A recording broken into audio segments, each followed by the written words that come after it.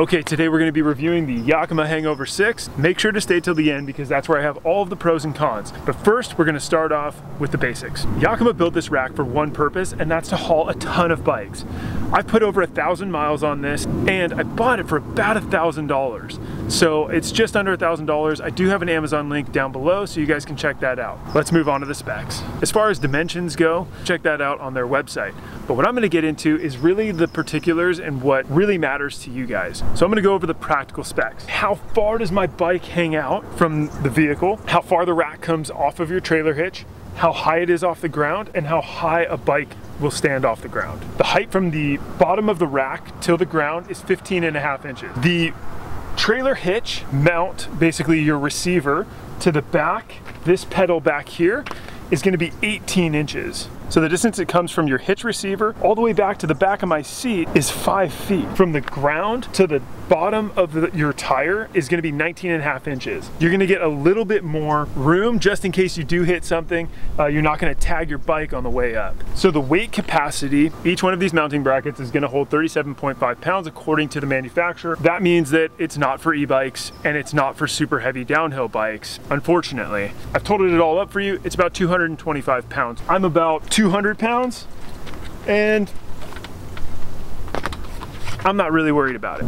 Assembling this rack is not too bad. It took me about 30 minutes. All of these just get bolted on. This section, this top mast part, gets bolted in here. The bottom section bolted in here. And then you can adjust the mast depending on your vehicle. Taking it on and off isn't too bad either, but it does weigh about 70 pounds. Let's talk about securing the bikes. There's two sections that secure the bike. The first one is this Y rubber bracket, and this has to go in between your forks, comes up, and then wraps the top section of your fork. On the bottom, there's a ratchet strap.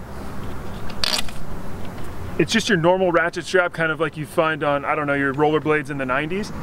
Take these things, strap it through, and it's pretty much good. Some people do say that they have wear issues after a prolonged use, um, and that's just continued wear on the strap. It's rubber, it'll fade, but they did retrofit these so the newer version has tougher straps. Okay, as far as your rack security, not necessarily securing your bike, but your rack security, there is a handle on the back section. I recommend doing this is throwing a cable through here, wrapping all of your bikes and your wheels.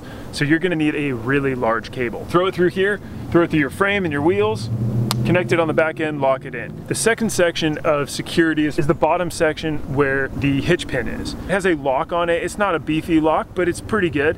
And it has a key, so make sure you don't lose your key. Okay, let's go over some of the key features. Okay, so the first thing that we're gonna look at is gonna be the positioning of your rack. So whether you have a truck, a mid-size SUV or a giant van like I have. So this rack has two positions. It's in the first position right now, or the second position right now, which is leaned back a little bit. The first position, I can't put it in because uh, I have a bike on it. So this tire is called, uh, this is called the hangover.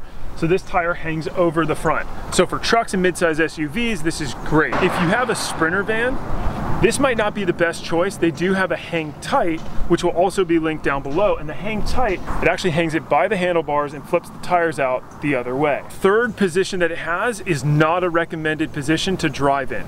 This is recommended to drive in and the one where it's straight up 90 degrees is able to drive in. The third position, which I'm gonna show you, is a lay flat. So this is the lay flat position. This doesn't technically lay all the way flat, but it does enable me to at the very least, open my door. Now, if you do have a Sprinter, this doesn't allow you to open your door all of the way. These bars, this bottom section of the mast does get in the way. Just so you guys know, if you have six bikes on here, pushing it up to that next position is gonna be quite hard. There are no dampers for it to come down. So there is a rack that has dampers. This is not that rack. And coming back up, you're gonna have to use two people if this thing's fully stacked. The other key feature that I'm gonna recommend is that you load your bikes from left to right.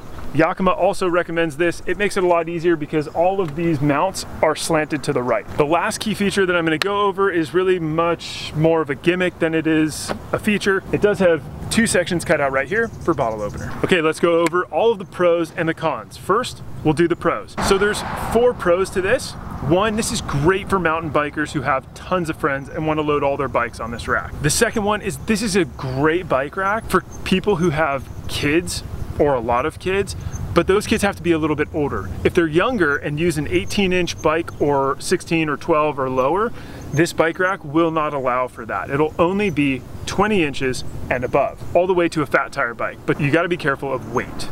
The third pro is that it has pretty good ground clearance. It's only 15 inches off the ground and 18 inches off your back bumper, so you should be pretty good as far as clearance. Now, you are gonna tag it on some stuff if you start going off-roading with this. It does recommend that you don't.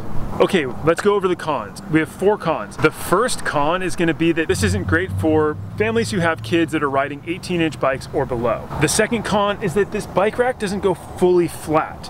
So even when all the bikes are off, it only goes to about maybe 15 degrees, which doesn't allow me to open the back of my doors. Third con for this bike rack, it has a 37 pound weight rating or 37.5 pound weight rating for each section, each mounting point. This doesn't allow you to put e-bikes or really any like giant fat bikes. This will also exclude some of your downhill bikes. So downhillers, beware. The fourth and last con is gonna be basically that if you're shorter, this rack might not be for you maybe look at like a tray system. So we've gone over everything and I've given you my thoughts on what I think about this rack. Ultimately, I think that the Yakima Hangover 6 is for someone who has a midsize SUV or a truck and is a mountain bike enthusiast with a lot of mountain biking friends. Or if you're just gonna take your family with older kids to the trail. That's all we got for the Yakima Hangover 6.